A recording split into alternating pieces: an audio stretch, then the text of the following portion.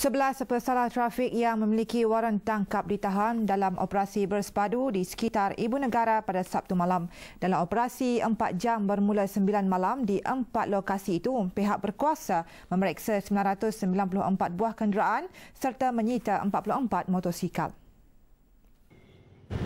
Ketua Jabatan Ketenteraman Awam Ibu Pejabat Polis Kontingen Kuala Lumpur, Datuk Wan Abdul Bari Wan Abdul Khalid memaklumkan Operasi dijalankan di Dataran Merdeka, Jalan Sultan Ismail, Jalan Tun Perak dan Jalan Raja Laut. Sebanyak 257 saman atas pelbagai kesalahan dikeluarkan. Jumlah apa kita kata tiada lesen memandu sampai 37 orang. Jumlah kita kata lesen tamat tempoh seramai 45. Uh, road tag ataupun cukai jalan yang telah pun tamat tempoh ada 25 tiada cermin sisi ya cermin tepi ya kereta tu kita ada 28 tidak mempamerkan uh, lambang P atau logo P pada mereka yang baru lulus uh.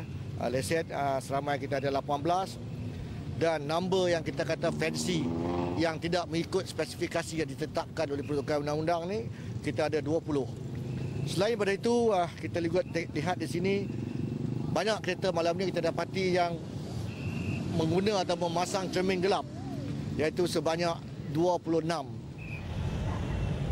Saman juga termasuk lapan yang dikeluarkan Jabatan Alam Sekitar kerana bunyi enjin kenderaan yang terlalu kuat. Pihaknya juga turut mengeluarkan 56 notis kepada pemilik kenderaan untuk pemeriksaan lanjut di Jabatan Pengangkutan Jalan. Selain itu, dua orang ditahan kerana didapati memandu di bawah pengaruh alkohol.